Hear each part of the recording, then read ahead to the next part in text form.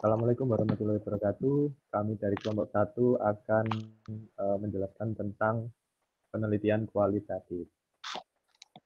Uh, kami sendiri beranggotakan yang pertama saya Muhammad Isbulansor, Intrak 003. Saya Emilia Arjana Wulandari, NIM terakhir 017. Saya Nur Afifah, NIM terakhir 054. Saya Lubita Wulandari, NIM terakhir 094.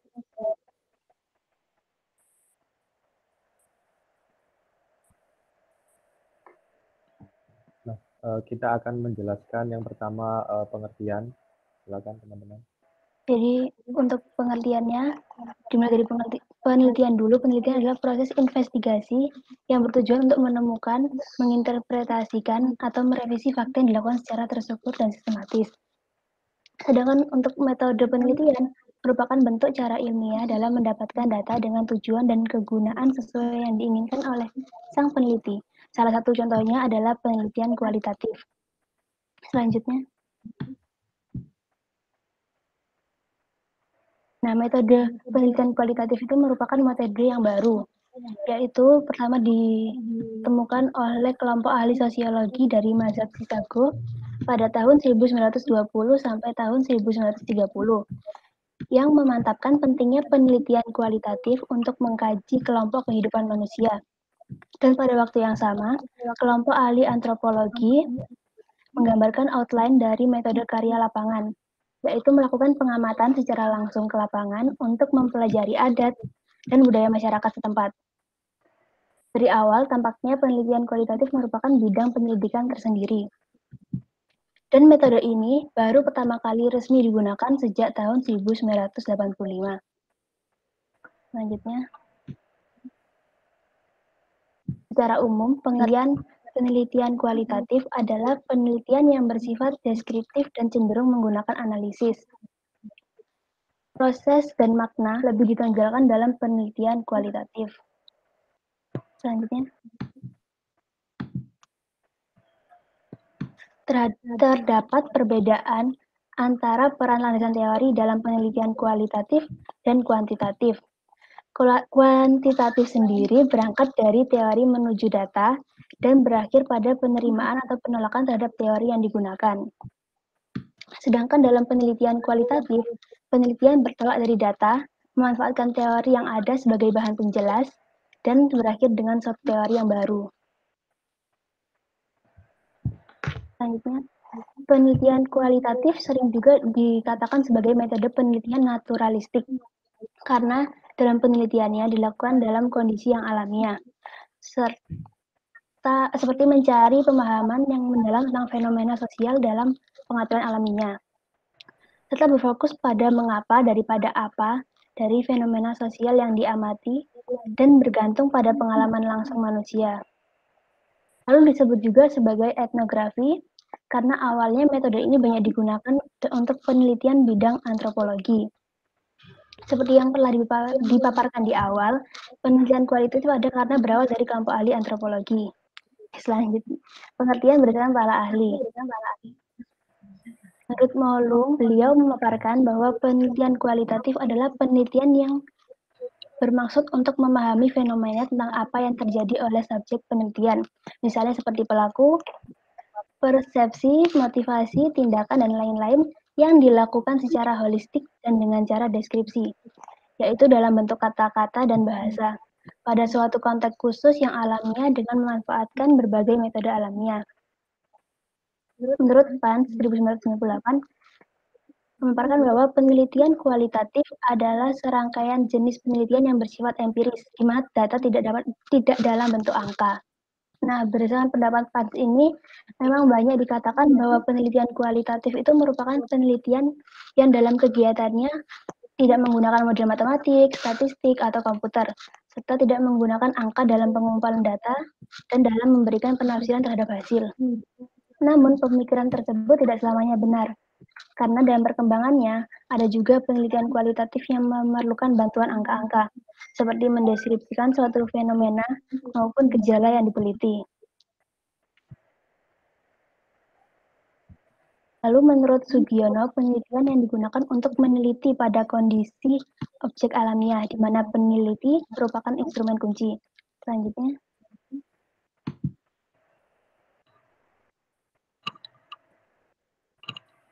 Yaitu Bowen dan Taylor, itu mendefinisikan metodologi kualitatif sebagai prosedur penelitian yang menghasilkan data deskriptif berupa kata-kata tertulis atau lisan dari orang-orang dan perilaku yang dapat diamati. Lalu menurut Muhammad Abdul Majid Ahmad, menjelaskan bahwa penelitian kualitatif lebih tertuju pada elemen manusia, objek, dan institusi, serta hubungan atau interaksi di antara elemen-elemen tersebut dalam upaya memahami suatu peristiwa, perilaku, atau fenomena. Selanjutnya, Berdasarkan dari beberapa pemaparan para ahli di atas tadi, dapat disimpulkan bahwa metode penelitian kualitatif merupakan suatu metode yang penelitian yang digunakan untuk meneliti objek yang alamiah, di mana peneliti adalah instrumen kunci. Dengan menggunakan metode alamiah serta analisis data deskripsi dan hasil yang lebih mengutamakan makna.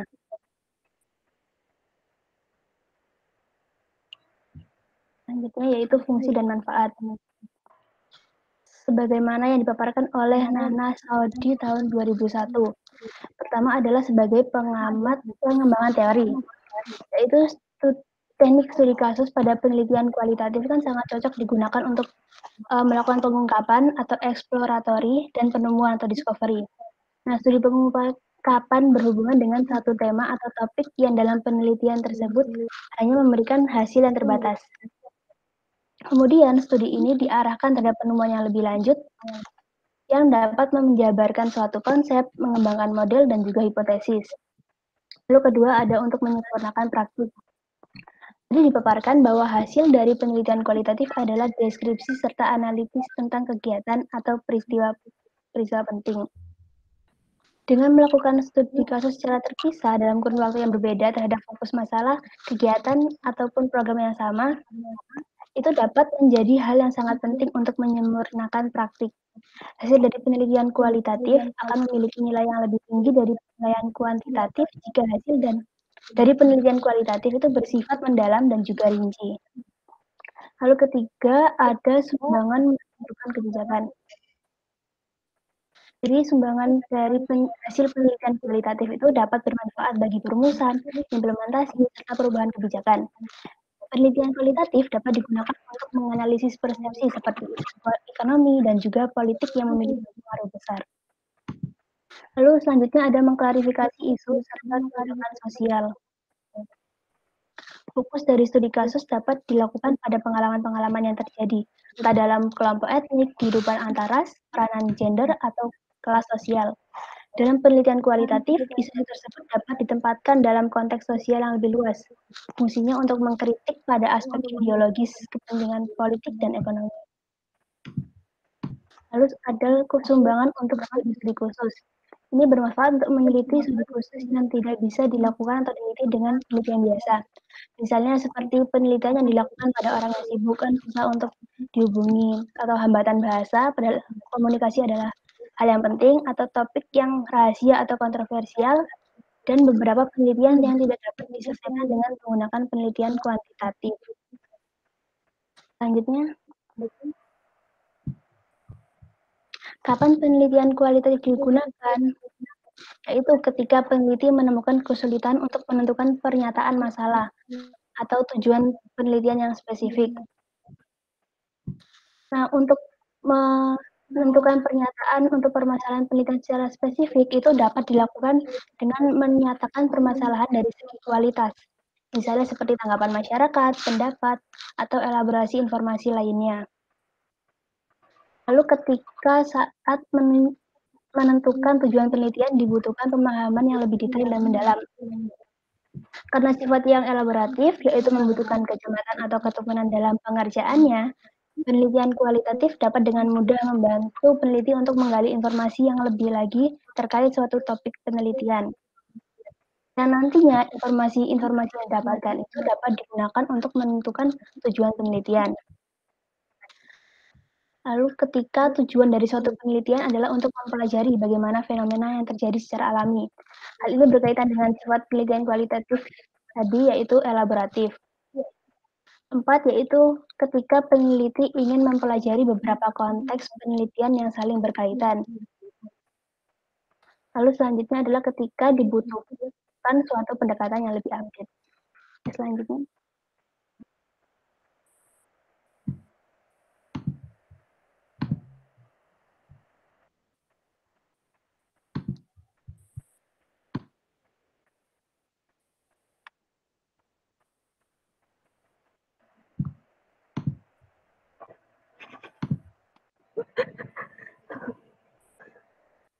Yang selanjutnya adalah paradigma penelitian kualitatif. Next.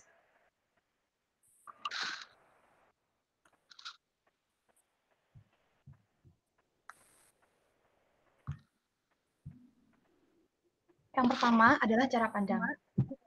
Next.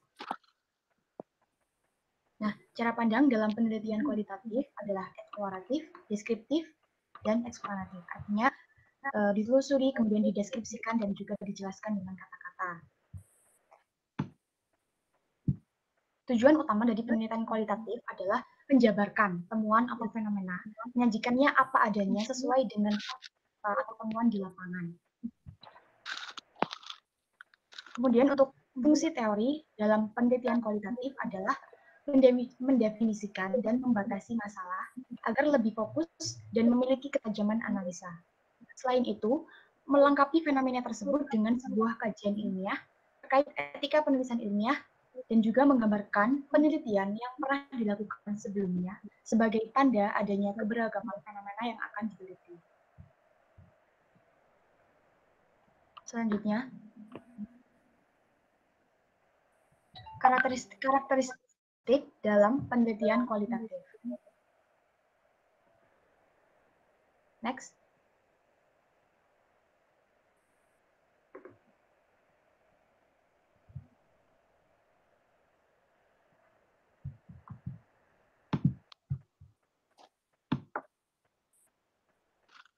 Nah, dalam uh, karakteristik ini akan dijelaskan beberapa. Yang pertama adalah studi kasus. Peneliti studi kasus ini mengarahkan pada pendeskripsian secara rinci dan mendalam mengenai potret kondisi dalam suatu konteks tentang apa yang sebenarnya terjadi menurut apa adanya keadaan di lapangan studi. Mengingat bahwa jenis penelitian studi kasus ini sangat mementingkan deskripsi proses, mengapa, dan bagaimana sesuatu itu bisa bisa terjadi untuk mengarah pada pemahaman makna dalam suatu fenomena yang dikaji oleh peneliti. Kemudian ada kasus terpanjang. Disebut sebagai studi kasus terpanjang apabila fokus utama penelitian telah ditentukan sejak awal sebelum peneliti ke lapangan. Sejak awal, masalah telah dirumuskan untuk membimbing arah penelitian di lapangan. Hal-hal yang tidak relevan dengan masalah itu cenderung diabaikan, sehingga peneliti bisa lebih fokus dan desain asli penelitian tetap sesuai dengan rumusan awal.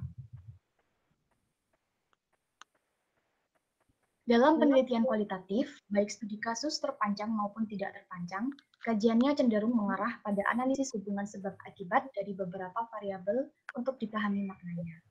Kemudian yang ketiga adalah kasus tunggal dan ganda. Jenis penelitian kualitatif dapat dibedakan berdasarkan atas jumlah kasus yang dikaji. Disebut sebagai penelitian dengan pendekatan studi kasus tunggal apabila penelitian terarah pada sasaran dengan satu karakteristik, sementara pada kasus ganda adalah sebaliknya.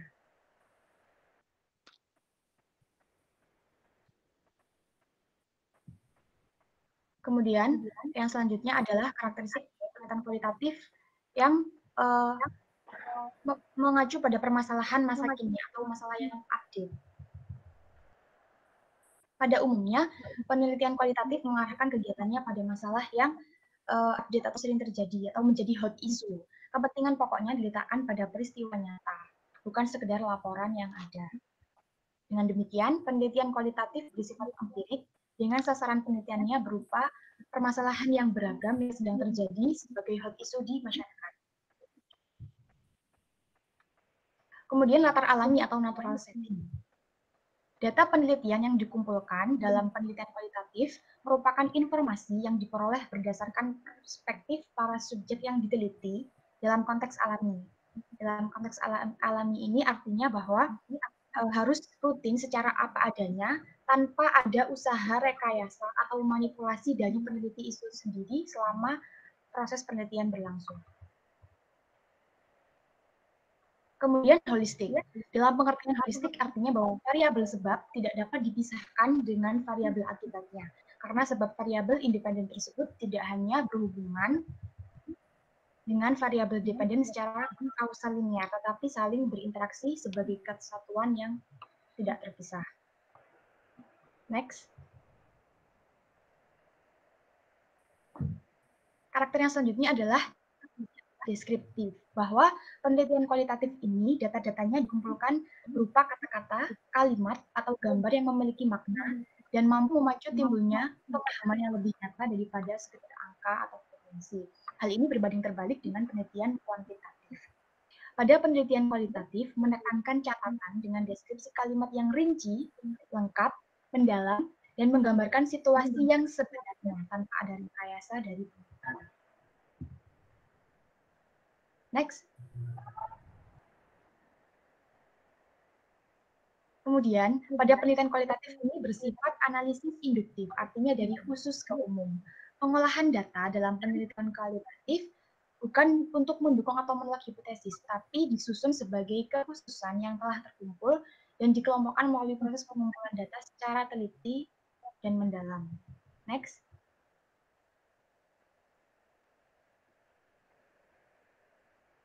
Karakteristik selanjutnya adalah desain penelitian luntur dan terbuka. Artinya, disusun secara lentur dan terbuka, disesuaikan dengan kondisi realitas yang terjadi di lapangan, dengan berbagai masalahnya yang tidak diketahui sebelumnya. Proposal penelitian kualitatif pada umumnya disusun dalam bentuk garis besar dan spekulatif. Desain demikian dimaksudkan bahwa masih terdapat ruang yang memungkinkan untuk terjadinya perubahan atau pengembangan lebih lanjut. Next. Peneliti sebagai alat utama atau human instrument. Berbagai alat pengumpulan data dapat dimanfaatkan sebagai peralatan penunjang dalam penelitian kualitatif. Namun alat yang utama tersebut adalah diri peneliti itu sendiri, sehingga tadi sudah dijelaskan bahwa bersifat subjektif, lebih ditekankan pada subjek.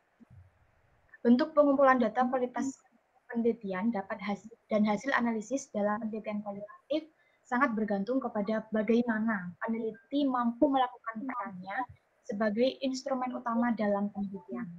Oleh sebab itu, sikap kritis dan terbuka sangat penting dimiliki oleh seorang peneliti ketika melakukan penelitian kualitatif. Next. Karakteristik berikutnya mencari makna dari fenomena yang dikaji.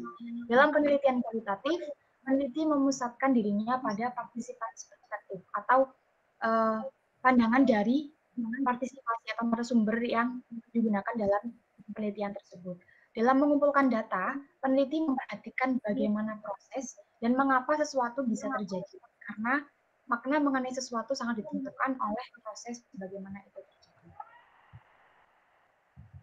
Next. Yang selanjutnya adalah model laporan studi kasus laporan penelitian kualitatif cenderung untuk menggunakan model laporan studi kasus karena pada dasarnya semua bentuk penelitian kualitatif itu merupakan studi kasus. Laporan studi kasus lebih sesuai bagi penyajian realitas multi perspektif dengan kekayaan nuansa dan kelengkapan deskripsinya. Selanjutnya, internal sampling. Dalam hal penentuan sumber data, peneliti perlu memutuskan apa, siapa, dan berapa jumlah narasumber untuk digunakan sebagai penggait informasi dalam penelitiannya. Keputusan memilih sampel didasarkan atas teknik cuplikan yang akan digunakan dan harus valid dan mampu menjaga menjangkau kondisi kemampuan sebagai peneliti dengan segala keterbatasan yang dimiliki pada dasarnya ada dua model teknik cuplikan, yaitu pengambilan sampel secara acak atau random sampling, dan kedua adalah pengambilan sampel tidak acak pengambilan sampel tidak acak ini uh, disebut dengan kota sampling dan juga bertujuan atau purposive sampling.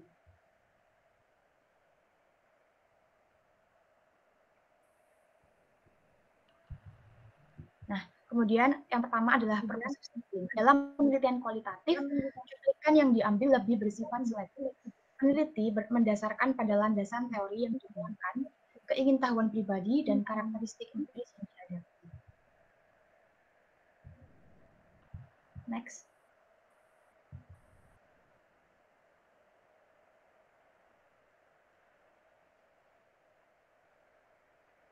Yang selanjutnya adalah snowball sampling. Snowball sampling digunakan jika peneliti tidak tahu siapa yang tepat menjadi sampel dalam penelitiannya, karena tidak mengetahui bagaimana latar belakang dan kondisi dari masyarakat yang akan dijadikan sasaran penelitian. Untuk itu, peneliti memilih siapa pun yang dijumpai. Kemungkinannya peneliti hanya memperoleh data yang sangat terbatas. Kemudian yang terakhir, time sampling atau cuplikan waktu. Istilah time sampling atau cuplikan waktu dikenal dalam penelitian kualitatif. Time sampling berkaitan dengan cuplikan waktu yang dipandang tepat untuk pengumpulan informasi sesuai dengan permasalahan yang dikaji. Misalnya, ketika ingin mengetahui apa kerja pegawai, sikap dan bagaimana kerjasamanya, peneliti wajib melakukan pengamatan pada saat yang tepat, yakni pada saat subjek atau narasumber aktif bekerja. Next.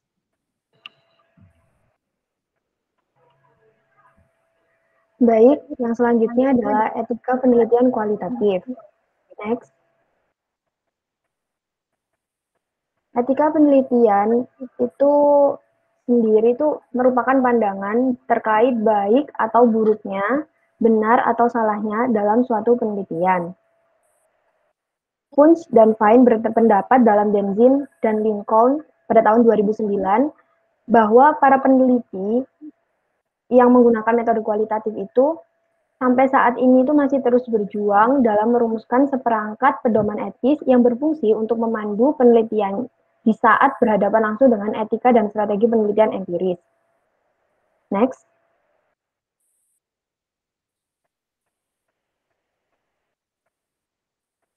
Nah, berdasarkan sejarahnya atau historis penelitian kualitatif itu terbagi atau terdapat lima sikap etis yang perlu diperhatikan oleh peneliti yang akan melakukan penelitian kualitatif. Yang pertama adalah absolut. Sikap etis yang pertama ini tuh atau biasa dikenal dengan sikap absolutis ini merupakan sikap peneliti untuk berpijak terhadap pandangan bahwa para ilmuwan sosial tidak memiliki hak untuk mencampuri privasi orang lain. Sehingga suatu penelitian dianggap tidak etis atau tidak sesuai etika penelitian apabila penelitian yang dilakukan itu tersamar atau dengan kata lain dalam pelaksanaan penelitian peneliti tidak menjaga privasi subjek penelitian. Yang kedua, tipuan. Nah, model tipuan ini tuh metode yang digunakan oleh peneliti, metode apa pun gitu yang diperlukan untuk memperoleh pemahaman situasional yang lebih luas dan mendalam. Nah, di dalam sikap tipuan ini tuh dibenarkan dalam penggunaannya karena sering kali dijumpai dalam pelaksanaan penelitian itu subjek peneliti atau orang yang memiliki kekuasaan melakukan uh, orang yang memiliki kekuasaan itu tuh dalam penelitiannya dia itu berupaya untuk menyembunyikan kebenaran dari peneliti.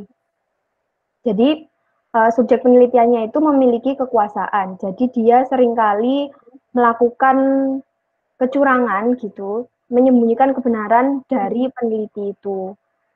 Nah, pada saat itulah sikap etis tipuan ini digunakan untuk peneliti dengan tujuan untuk memperoleh pemahaman situasional yang lebih luas dan mendalam. Sikap etis yang ketiga yaitu konsekuensialis. Sikap konsekuensialis merupakan sikap etis yang berpijak pada beberapa prinsip. Yang pertama, saling menghargai, kemudian tanpa paksaan dan manipulasi, dukungan terhadap nilai dan institusi, demokratis, dan kepercayaan bahwa semua tindakan memuat keputusan moral dan etis dengan bercirikan kontekstual. Pono dan Koch pada tahun 1991 itu berpendapat sikap konsekuensi konsekuensialis itu menuntut adanya hubungan penuh kerjasama, saling percaya, dan tanpa paksaan antara peneliti dengan subjek penelitiannya. Yang ketiga adalah sikap feminis. Sikap feminis ini juga sering dikenal dengan gerakan perempuan. Nah, di dalam sikap feminis ini, hmm, peneliti itu hmm. menekankan pada identifikasi, kepercayaan, empati, dan hubungan yang tidak bercirikan eksploratif.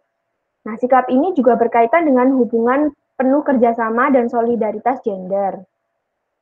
Sikap etis yang kelima yaitu relativis. Sikap relativis merupakan sikap etis yang memiliki pandangan peneliti memiliki kebebasan mutlak untuk melakukan penelitian terhadap sesuatu yang dianggap cocok. Melainkan, peneliti masih harus tetap mengkaji persoalan-persoalan yang bersumber dari pengalaman pribadi. Dengan kata lain, apabila seorang peneliti itu ingin melakukan penelitian yang bersumber dari pengalaman pribadi, maka e, menurut sifat menurut sikap relativis ini boleh atau dibebaskan, tetapi harus tetap mengkaji persoalan-persoalan yang bersumber dari pengalaman pribadi peneliti. Next. Nah, di dalam etika penelitian itu terbagi menjadi tiga bagian. Yang pertama, etika prosedural, yang kedua, etika pelaksanaan, dan yang ketiga, etika hubungan. Untuk yang pertama, next, etika prosedural. Nah, di dalam etika prosedural ini memuat dua hal. Yang pertama, persetujuan dan izin secara tertulis. Di dalam etika prosedural, peneliti dalam melakukan penelitian kualitatif harus ada persetujuan dan izin secara tertulis. Apabila subjek penelitiannya itu manusia, maka persetujuan dan izin secara tertulisnya itu berasal dari komite etik. Nah, selain itu, persetujuan yang uh, diperoleh itu juga bisa berasal dari universitas atau lembaga riset yang terkait dengan kegiatan penelitian maupun institusi yang berwenang. Nah, di dalam etika prosedural juga harus ada persetujuan untuk mengambil data penelitian dari responden atau subjek penelitian. Nah, persetujuan ini diperoleh dari pemerintah dan juga lembaga adat. Nah, persetujuan yang berasal dari pemerintah itu dikeluarkan oleh Kesbang Linman, yaitu tempatnya di provinsi, kabupaten, atau kota. Nah, lalu bagaimana untuk peneliti luar negeri yang ingin meneliti di Indonesia, bagaimana persetujuan dan izin secara tertulisnya itu diurus di mana? Nah, itu diperoleh berasal dari Badan Intelijen Negara atau BIN dan juga Lembaga Ilmu Pengetahuan Indonesia atau LIPI. Nah, etika prosedural yang kedua yaitu melaksanakan isu-isu keamanan dan kewenangan. Di dalam etika melakukan penelitian ini tuh peneliti juga uh, penting untuk mempersiapkan proposal penelitian yang berkaitan dengan sampel, teknik pengambilan data, dan analisis data. Nah, di dalam sampel itu berkaitan dengan bagaimana sampel diambil atau diperoleh peneliti pada kegiatan penelitian. Jadi, etika prosedural etika proseduralnya itu di situ, bagaimana sampel diambil atau diperoleh dari dari kegiatan penelitian. Yang kedua, teknik pengambilan data. Nah, di sini itu etika etikanya itu berkaitan dengan bagaimana atau teknik apa yang digunakan oleh peneliti dalam pengambilan data dari kegiatan penelitian yang akan dilakukan. Selanjutnya, analisis data ini berkaitan dengan bagaimana memperlakukan dan menganalisis data yang diperoleh dari penelitian. Nah, selain itu, peneliti juga penting untuk menyertakan isu etis Nah, isu etis itu berkaitan dengan apa aja? Dengan tiga hal. Yang pertama, harm and benefit. Yang kedua, informed consent. Yang ketiga, privacy and confidentiality. Yang pertama, harm and benefit. Harm and benefit dalam penelitian merupakan resiko dan manfaat yang akan diperoleh pihak subjek atau responden dari penelitian yang dilakukan. Nah, tidak hanya itu. Di sini resiko dan manfaat itu juga terkait dengan lingkungan dari uh, kegiatan penelitian itu dilakukan. Isu selanjutnya yaitu inform consent. Nah, inform consent ini itu suatu proses penyampaian suatu informasi secara relevan dan eksplisit kepada subjek penelitian untuk memperoleh persetujuan sebelum dilakukan suatu tindakan dalam penelitian. Jadi, eh, saat melakukan penelitian, penyampaian informasi yang relevan dan eksplisit itu harus dilakukan oleh peneliti kepada subjek penelitian itu. Secara etika penelitiannya seperti itu. Yang ketiga, isunya terkait dengan privacy and confidentiality. Nah, privacy and confidentiality merupakan sebuah usaha untuk menjaga informasi dari orang yang tidak berhak mengakses informasi penelitian itu. Next, Ibu.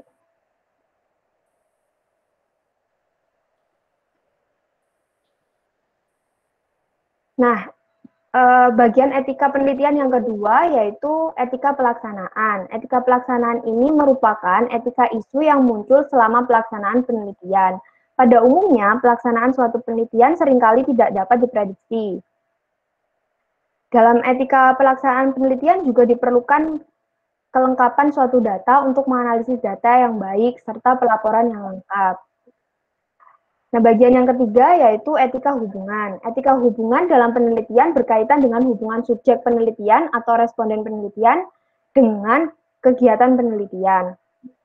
Nah, etika hubungan itu meliputi siapakah responden yang akan dipilih, bagaimana peran responden terhadap penelitian yang akan dilakukan, bagaimana peneliti memperlakukan responden pada saat penelitian, serta hubungan peneliti dengan responden dalam kegiatan penelitian itu harus tetap terjaga sampai setelah penelitian sekalipun. Next.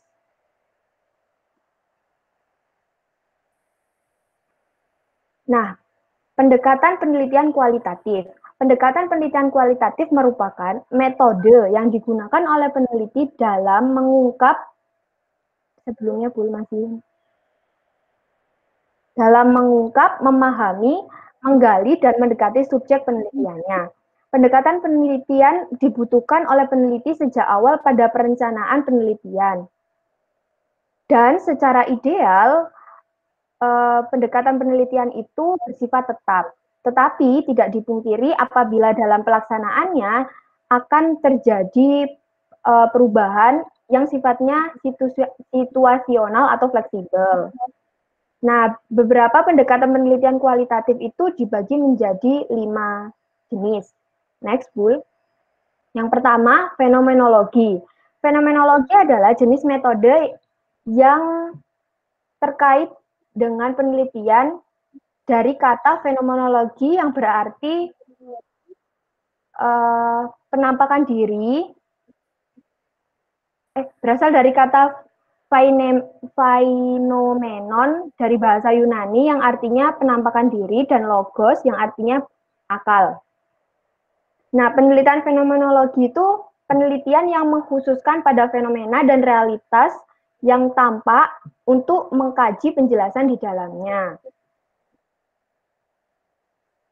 Nah, penelitian fenomenologi dimulai melalui memperhatikan dan menelaah terhadap fokus fenomena yang akan diteliti. Fokus ini dilakukan dengan melihat berbagai aspek subjektif dari perilaku objek. Nah, selanjutnya, peneliti menggali atau mengumpulkan data yang berupa bagaimana pemaknaan objek dalam memberikan arti terhadap fenomena terkait. Nah, penggalian data yang pada penelitian fenomenologi ini berasal dari wawancara mendalam kepada objek atau uh, melakukan observasi langsung terkait dengan bagaimana objek penelitian menginterpretasikan pengalamannya kepada orang lain. Pendekatan yang kedua yaitu etnografi. Etnografi adalah suatu metode penelitian yang melihat kajian bahasa dalam perilaku sosial, komunikasi masyarakat, dan bagaimana bahasa tersebut diterapkan dengan didasarkan pada konsep budaya yang terkait. Metode penelitian etnografi bertujuan untuk mengkaji suatu bentuk dan fungsi bahasa yang terdapat dalam budaya yang kemudian digunakan untuk melakukan komunikasi antar individu di dalamnya. Nah, selain itu, tujuannya juga untuk melihat bagaimana suatu bentuk dan fungsi dari bahasa tersebut menjadi sebuah bagian dari kehidupan masyarakat. Pendekatan yang ketiga yaitu studi kasus. Metode penelitian studi kasus merupakan metode penelitian yang meneliti suatu kasus atau fenomena tertentu yang terdapat dalam masyarakat yang dilakukan secara mendalam dengan tujuan untuk mempelajari latar belakang, keadaan, dan interaksi yang terjadi dalam masyarakat. Studi kasus dilakukan pada suatu kesatuan sistem yang berupa suatu kegiatan, program, peristiwa, atau sekelompok individu yang ada dalam kondisi tertentu. Metode studi kasus khusus meneliti suatu hal atau sistem tertentu dapat mengakibatkan penelitian studi kasus itu tidak dilakukan untuk menarik kesimpulan terhadap fenomena dari suatu kumpulan atau populasi tertentu, namun khusus dilakukan untuk kejadian atau fenomena yang diteliti saja. Nah, untuk pendekatan yang keempat yaitu historis. Nah, penelitian historis merupakan penelitian yang berfokus pada penelitian peristiwa-peristiwa yang, yang telah terjadi di masa lalu atau sudah berlalu. Nah, di dalam penelitian metode historis, peneliti melakukan rekonstruksi masa lalu dengan saksi sejarah yang masih ada hingga saat ini sebagai sumber data. Sumber data penelitian dapat diperoleh juga melalui berbagai catatan sejarah, laporan verbal, artefak, dan juga saksi hidup. Pendekatan yang kelima yaitu grounded theory. Metode teori dasar atau sering disebut dengan grounded theory itu merupakan penelitian yang dilakukan dengan tujuan untuk menemukan suatu teori atau menguatkan teori yang sudah ada melalui kajian terhadap prinsip dan kaidah dasar yang ada. Nah, setelah itu peneliti menarik kesimpulan dasar yang kemudian membentuk sebuah prinsip dari suatu teori. Untuk melakukan metode ini, peneliti perlu memilah antara fenomena satu dengan yang lain, atau fenomena mana yang dapat dikatakan fenomena inti, dan mana yang bukan untuk dapat diambil dan dibentuk suatu teori. Sudah. Eh, selanjutnya adalah metode pengumpulan data di penelitian kualitatif. Jadi ada apa saja. Nah ini ada empat. Eh, yang pertama observasi, lalu wawancara eh, dengan dokumen, lalu serta rekaman audio dan visual. Nah, aktivitas dengan cara melihat dan mendengar dalam tempat kejadian Nah, sehingga uh, tujuannya yaitu untuk uh, memberikan catatan lapangan secara realistik terkait dengan uh, perilaku dan aktivitas individu yang uh, diamati. Nah, jadi data dari hasil observasi ini nanti berupa uh, deskripsi uh, tentang perilaku, kegiatan, dan uh, kejadian selama melakukan observasi. Nah, uh, untuk metodenya sendiri dia terbagi menjadi dua. Yang pertama yaitu partisipatoris dan uh, eh, non partisipatoris. Untuk yang pertama partisipatoris berarti dia peneliti ini terlibat uh, langsung uh, dalam kegiatan atau situasi yang uh, akan diamati. Jadi dia ikut berpartisipasi. Nah, hal ini bertujuan untuk apa? Yaitu memudahkan uh, untuk berinteraksi dan uh, memperoleh pengalaman langsung uh, yang dialami partisipan yang akan diteliti. Nah, Oh, untuk non partisipatoris berarti di sini peneliti tidak memposisikan dirinya sebagai partisipan. Jadi ini uh, peneliti ini sebagai orang luar dari komunitas yang uh, akan diteliti. Nah, tujuannya untuk apa? Ini untuk uh, memperoleh objek objektivitas uh, dari data. Nah, untuk wawancara sendiri, nah wawancara ini merupakan uh, pengumpulan data dengan tanya jawab pada informan atau orang yang akan uh, diteliti Nah, ini uh, dapat dilakukan dengan tatap muka secara langsung atau melalui telepon atau bahkan secara berkelompok. Nah, uh, uh, untuk kategorinya sendiri uh, dalam buku uh, karangan karangan Farida ini dia mengkategorikan ada lima kategori yaitu yang pertama wawancara terstruktur, tidak terstruktur, wawancara mendalam, wawancara dengan petunjuk umum dan baku terbuka. Nah, untuk uh, wawancara uh, terstruktur ini apa? Jadi dia menetapkan masalah dan uh, pertanyaan yang akan diajukan. Nah, tujuannya ini untuk mencari uh, jawaban dari suatu hipotesis yang dibuat. Nah, wawancara struktur ini digunakan jika seluruh uh, penelit, seluruh sampel ini dalam penelitian ini dipandang memiliki kesempatan yang sama uh, untuk menjawab suatu pertanyaan. Uh, selanjutnya yaitu wawancara tidak terstruktur. Jadi ini apa? Nah, ini lebih bebas, uh, tentu lebih bebas dari yang terstruktur. Jadi bebas dalam apa? Yaitu dalam hal waktu bertanya dan memberikan suatu respon. Nah, lalu pertanyaan yang di, uh, tidak disusun terlebih dahulu karena disesuaikan dengan informan nanti ketika wawancara. Nah, untuk uh, selanjutnya yaitu wawancara mendalam. Jadi ini wawancara yang dilakukan dengan uh, fleksibel, terbuka, uh, tidak berstruktur ketat, dan tidak dalam suasana formal. Nah, pertanyaan yang diberikan dalam wawancara ini yaitu pertanyaan yang open-ended, uh, yaitu pertanyaan tentang fakta, peristiwa, uh, opini maupun aktivitas. Nah, selanjutnya yaitu pertanyaan dengan uh, petunjuk umum, yaitu uh, wawancara yang uh, menyusun secara garis besar untuk pokok pembicaraan. Jadi pertanyaan-pertanyaan yang diberikan nanti tidak keluar dari uh, garis besar pokok pembicaraan. Nah, ini tujuannya untuk apa? Nah, uh, tujuannya yaitu uh, supaya nanti tidak keluar dari konteks pembicaraan sehingga didapatkan uh, data yang lebih uh, spesifik dan tidak uh, menyebar. Nah, selanjutnya untuk wawancara baku terbuka yaitu uh, menyajikan pertanyaan baku yaitu pertanyaan dengan urutan kata-kata dan cara penyajian yang sama untuk semua informan yang diwawancarai. Nah, ini uh, digunakan ketika apa? Yaitu ketika jika uh, dipandang variasi pertanyaan ini akan uh, menyulitkan peneliti karena jumlah informan ini cukup banyak. Nah, sehingga diberikan uh, wawancara bagi terbuka. Lalu selain observasi dan wawancara, ada juga pengumpulan data yaitu melalui dokumen. Nah, ini bisa berupa dokumen publik.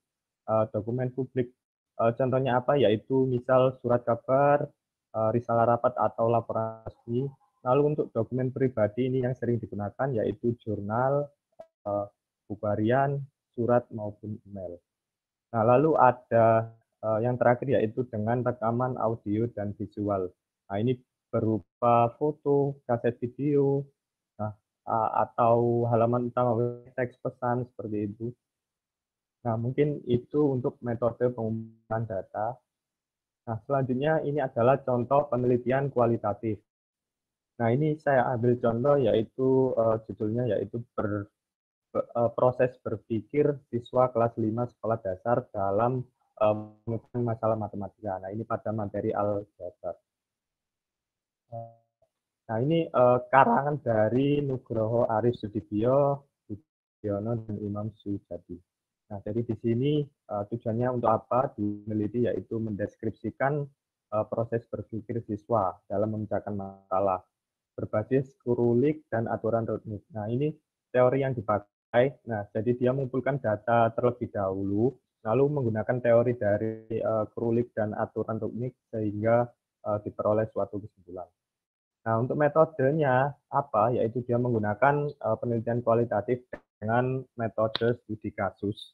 Nah, dengan uh, dengan pengambilan sampel yaitu uh, snowball snowball drawing Nah, ini pengumpulan data yang dilakukan oleh uh, peneliti ini dengan observasi, wawancara, dan uh, dokumentasi.